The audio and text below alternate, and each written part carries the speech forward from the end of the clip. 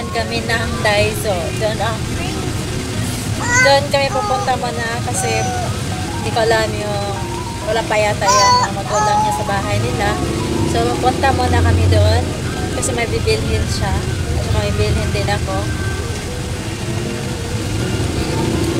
Ako, ta- tapos na kami um, sa car shop, tapos na kami pumunta doon. So, ngayon, papunta na naman kami ng Daiso. Malapit lang siya dito.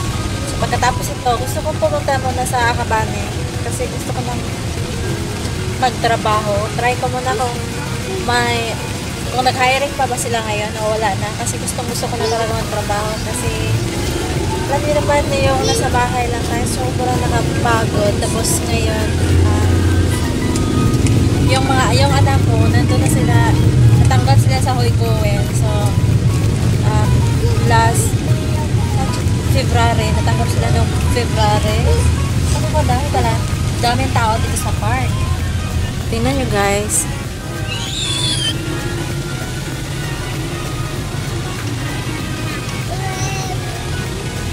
Diba parang wala lang. Parang wala lang. Walang nangyari. Naganda kasi sila dito eh. Declare... What is the name? The, declare... Here in Japan, what? Declare... Emergency declare? Pero tingnan nyo guys, parang wala lang. Ang daming tao.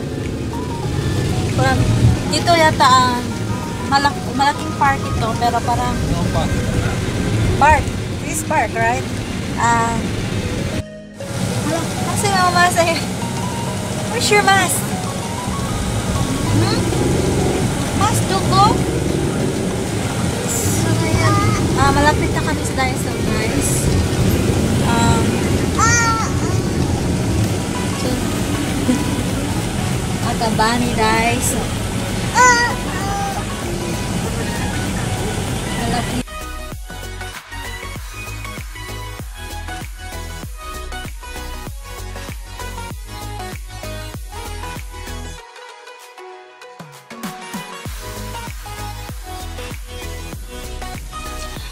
So, hindi na lang ako bumaba, guys. Kasama yung mga anak ko. Kasi nakasab... Ang dami kasi yung tao. Ang daming tao dito. So, natatakot ako kasi ang dami. So, mabuti na lang.